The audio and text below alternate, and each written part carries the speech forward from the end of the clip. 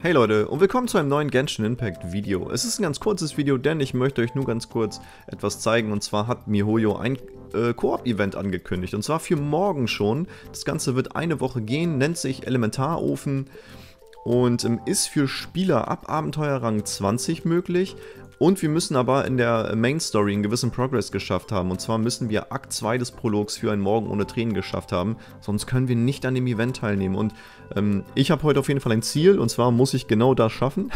Denn ich will unbedingt an diesem Event teilnehmen. Erstens, endlich ist es Koop.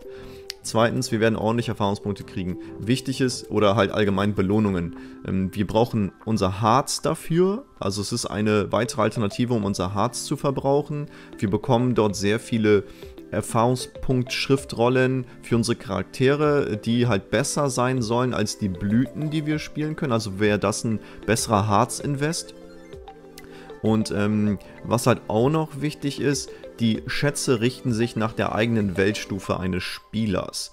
Ähm, denn wenn ihr halt äh, jemanden joint, der halt nur Weltrangstufe 1 ist, ihr seid aber schon auf äh, Rangstufe 3, dann würdet ihr theoretisch ja schlechtere Belohnung bekommen, nur weil ihr einen Weltrang 1 gejoint seid. Aber nein, so ist es nicht. Ähm, ihr bekommt alles passend äh, oder halt angepasst auf euer Weltenrang. Also das ist gut zu wissen.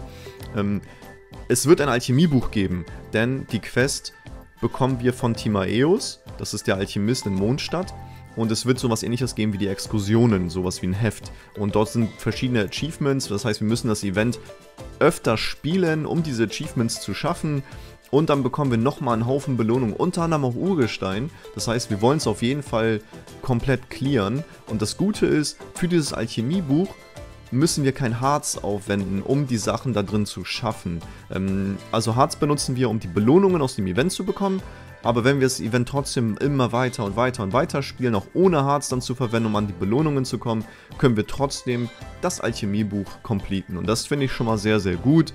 Äh, auch wenn es natürlich schade ist, dass wir nicht jedes Mal belohnt werden, dass wir das Event spielen in Form von ähm, Drops, wenn wir halt kein Harz haben. Das ist schade, aber gut, irgend, irgendein Haken gibt es ja immer. Also, von daher, seid vorbereitet für morgen äh, ja, stellt sicher, dass ihr die, die Story soweit gespielt habt, damit wir eine Woche lang das Event vernünftig nutzen können, ähm, um halt auch die Belohnungen aus diesem Alchemie-Buch zu bekommen. Und ansonsten, ja, wünsche ich euch auf jeden Fall viel, viel Spaß im Koop. Endlich hab, haben wir ein Ziel und ich finde es gut, dass die uns ein Event geben, jetzt wo sehr viele ja, wo die Stimmung nicht so gut ist, weil Patch 1.1 halt erst in einem Monat kommt, haben wir zumindest jetzt in der Form ein, ein Event, was wir halt ja, spielen können. Es ist neuer Content, muss man einfach so sagen. Und es geht eine Woche. Von daher, ich hoffe, dass die uns jede Woche so ein Event geben, in irgendeiner Art und Weise, damit wir was zu tun haben. Das wäre wirklich cool, aber lassen wir uns einfach überraschen. Also, vielen Dank fürs Zuschauen und wir sehen uns im nächsten Video. Bis dahin, macht's gut.